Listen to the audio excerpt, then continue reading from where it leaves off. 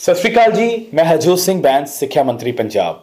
28 ਜੁਲਾਈ ਨੂੰ ਸਾਡੇ ਪੰਜਾਬ ਦੇ ਮੁੱਖ ਮੰਤਰੀ ਸਰਦਾਰ ਭਗਵੰਤ ਮਾਨ ਜੀ, ਸਿੱਖਿਆ ਮਹਿਕਮੇ ਦੇ 12500 ਜਿਨ੍ਹਾਂ ਨੂੰ 28 ਜੁਲਾਈ ਤੱਕ ਆਪਾਂ ਕੱਚੇ ਟੀਚਰਸ ਕਹਿੰਦੇ ਸੀ, ਉਹਨਾਂ ਦੇ ਜੀਵਨ ਤਬਦੀਲ ਹੋਣ ਜਾ ਰਿਹਾ, ਉਹਨਾਂ ਸਾਰੇ ਟੀਚਰਸ ਨੂੰ ਰੈਗੂਲਰਾਈਜੇਸ਼ਨ ਲੈਟਰਸ ਮਿਲਣਗੇ।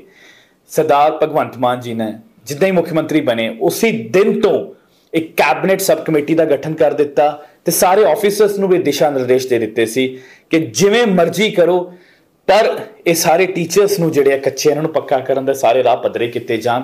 ਪਾਲਿਸੀਆਂ ਬਣੀਆਂ, ਬਹੁਤ ਮਿਹਨਤ ਕਰਨ ਤੋਂ ਬਾਅਦ ਸਵਾ ਸਾਲ ਬਾਅਦ, ਹੁਣ 28 ਜੁਲਾਈ ਨੂੰ ਦਿਨ ਆ ਰਿਹਾ।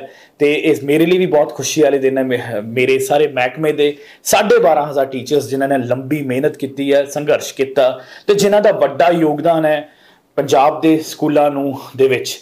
ਉਹਨਾਂ ਦਾ ਜੀਵਨ ਤਬਦੀਲ ਹੋਣ ਜਾ ਰਿਹਾ। ਜਿੱਥੇ ਮਾਨ ਸਾਹਿਬ ਨੇ ਕਿਹਾ ਕਿ ਉਹ ਖੁਦ ਇੱਥੇ ਕੁਝ ਟੀਚਰਸ ਨੂੰ ਵੰਡਣਗੇ। ਉੱਥੇ ਪੰਜਾਬ ਦੇ ਵਿੱਚ 12800 ਪ੍ਰਾਇਮਰੀ ਸਕੂਲ ਹੈ। ਤੇ ਲਗਭਗ ਹਰ ਸਕੂਲ ਦੇ ਵਿੱਚ ਕੋਈ ਨਾ ਕੋਈ ਕੱਚਾ ਅਧਿਆਪਕ ਡਿਊਟੀ ਕਰ ਰਿਹਾ, ਇੱਕ ਦੋ।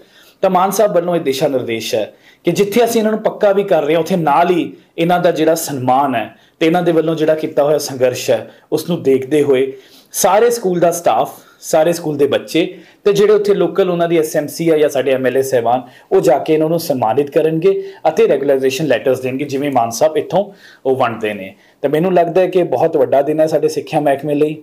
ਤੇ ਮੈਂ ਸਾਰੇ ਹੀ ਉਹਨਾਂ ਟੀਚਰਸ ਦਾ 12500 ਟੀਚਰਸ ਨੂੰ ਮੁਬਾਰਕਬਾਦ ਦਿੰਦਾ ਉਹਨਾਂ ਦੇ ਪਰਿਵਾਰਾਂ ਨੂੰ, ਉਹਨਾਂ ਦੇ ਦੋਸਤਾਂ ਮਿੱਤਰਾਂ ਨੂੰ, ਉਹਨਾਂ ਦੇ ਸਕੂਲ ਦੇ ਬਾਕੀ ਸਟਾਫ ਨੂੰ।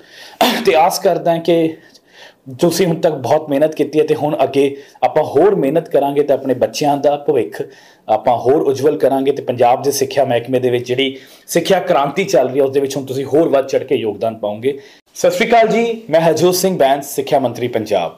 28 ਜੁਲਾਈ ਨੂੰ ਸਾਡੇ ਪੰਜਾਬ ਦੇ ਮੁੱਖ ਮੰਤਰੀ ਸਰਦਾਰ ਭਗਵੰਤ ਮਾਨ ਜੀ, ਸਿੱਖਿਆ ਮਹਿਕਮੇ ਦੇ 12500 ਜਿਨ੍ਹਾਂ ਨੂੰ 28 ਜੁਲਾਈ ਤੱਕ ਆਪਾਂ ਕੱਚੇ ਟੀਚਰਸ ਕਹਿੰਦੇ ਸੀ, ਉਹਨਾਂ ਦੇ ਜੀਵਨ ਤਬਦੀਲ ਹੋਣ ਜਾ ਰਿਹਾ। ਉਹਨਾਂ ਸਾਰੇ ਟੀਚਰਸ ਨੂੰ ਰੈਗੂਲਰਾਈਜੇਸ਼ਨ ਲੈਟਰਸ ਮਿਲਣਗੇ। ਸਰਦਾਰ ਭਗਵੰਤ ਮਾਨ ਜੀ ਨੇ ਜਿੱਦਾਂ ਹੀ ਮੁੱਖ ਮੰਤਰੀ ਬਣੇ, ਉਸੇ ਦਿਨ ਤੋਂ ਇੱਕ ਕੈਬਨਿਟ ਸਬ ਕਮੇਟੀ ਦਾ ਗਠਨ ਕਰ ਦਿੱਤਾ ਤੇ ਸਾਰੇ ਆਫੀਸਰਸ ਨੂੰ ਵੀ ਦਿਸ਼ਾ ਨਿਰਦੇਸ਼ ਦੇ ਦਿੱਤੇ ਸੀ ਕਿ ਜਿਵੇਂ ਮਰਜ਼ੀ ਕਰੋ ਪਰ ਇਹ ਸਾਰੇ ਟੀਚਰਸ ਨੂੰ ਜਿਹੜੇ ਆ ਕੱਚੇ, ਇਹਨਾਂ ਨੂੰ ਪੱਕਾ ਕਰਨ ਦੇ ਸਾਰੇ ਰਾਹ ਪੱਧਰੇ ਕੀਤੇ ਜਾਣ। ਪਾਲਿਸੀਆਂ ਬਣੀਆਂ, ਬਹੁਤ ਮਿਹਨਤ ਕਰਨ ਤੋਂ ਬਾਅਦ ਸਵਾ ਸਾਲ ਬਾਅਦ, ਹੁਣ 28 ਜੁਲਾਈ ਨੂੰ ਦਿਨ ਆ ਰਿਹਾ।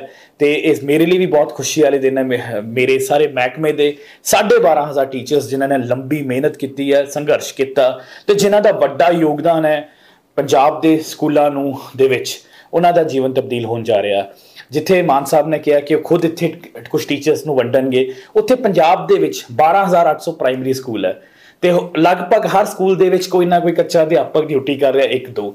ਤਾਂ ਮਾਨ ਸਾਹਿਬ ਵੱਲੋਂ ਇਹ ਦਿਸ਼ਾ ਨਿਰਦੇਸ਼ ਹੈ ਕਿ ਜਿੱਥੇ ਅਸੀਂ ਇਹਨਾਂ ਨੂੰ ਪੱਕਾ ਵੀ ਕਰ ਰਹੇ ਹਾਂ, ਉੱਥੇ ਨਾਲ ਹੀ ਇਹਨਾਂ ਦਾ ਜਿਹੜਾ ਸਨਮਾਨ ਹੈ ਤੇ ਇਹਨਾਂ ਦੇ ਵੱਲੋਂ ਜਿਹੜਾ ਕੀਤਾ ਹੋਇਆ ਸੰਘਰਸ਼ ਹੈ ਉਸ ਨੂੰ ਦੇਖਦੇ ਹੋਏ ਸਾਰੇ ਸਕੂਲ ਦਾ ਸਟਾਫ ਸਾਰੇ ਸਕੂਲ ਦੇ ਬੱਚੇ ਤੇ ਜਿਹੜੇ ਉੱਥੇ ਲੋਕਲ ਉਹਨਾਂ ਦੀ ਐਸਐਮਸੀ ਆ ਜਾਂ ਸਾਡੇ ਐਮਐਲਏ ਸਹਿਬਾਨ, ਉਹ ਜਾ ਕੇ ਇਹਨਾਂ ਨੂੰ ਸਨਮਾਨਿਤ ਕਰਨਗੇ ਅਤੇ ਰੈਗੂਲਰਾਈਜੇਸ਼ਨ ਲੈਟਰਸ ਦੇਣਗੇ, ਜਿਵੇਂ ਮਾਨ ਸਾਹਿਬ ਇੱਥੋਂ ਉਹ ਵੰਡਦੇ ਨੇ। ਤੇ ਮੈਨੂੰ ਲੱਗਦਾ ਹੈ ਕਿ ਬਹੁਤ ਵੱਡਾ ਦਿਨ ਹੈ ਸਾਡੇ ਸਿੱਖਿਆ ਮਹਿਕਮੇ ਲਈ।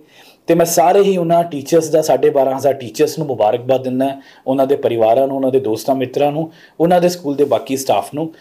ਤੇ ਆਸ ਕਰਦਾ ਕਿ ਤੁਸੀਂ ਹੁਣ ਤੱਕ ਬਹੁਤ ਮਿਹਨਤ ਕੀਤੀ ਹੈ ਤੇ ਹੁਣ ਅੱਗੇ ਆਪਾਂ ਹੋਰ ਮਿਹਨਤ ਕਰਾਂਗੇ ਤੇ ਆਪਣੇ ਬੱਚਿਆਂ ਦਾ ਭਵਿੱਖ ਆਪਾਂ ਹੋਰ ਉਜਵਲ ਕਰਾਂਗੇ ਤੇ ਪੰਜਾਬ ਦੇ ਸਿੱਖਿਆ ਮਹਿਕਮੇ ਦੇ ਵਿੱਚ ਜਿਹੜੀ ਸਿੱਖਿਆ ਕ੍ਰਾਂਤੀ ਚੱਲ ਰਹੀ ਹੈ, ਉਸ ਦੇ ਵਿੱਚ ਹੁਣ ਤੁਸੀਂ ਹੋਰ ਵੱਧ ਚੜ ਕੇ ਯੋਗਦਾਨ ਪਾਓਗੇ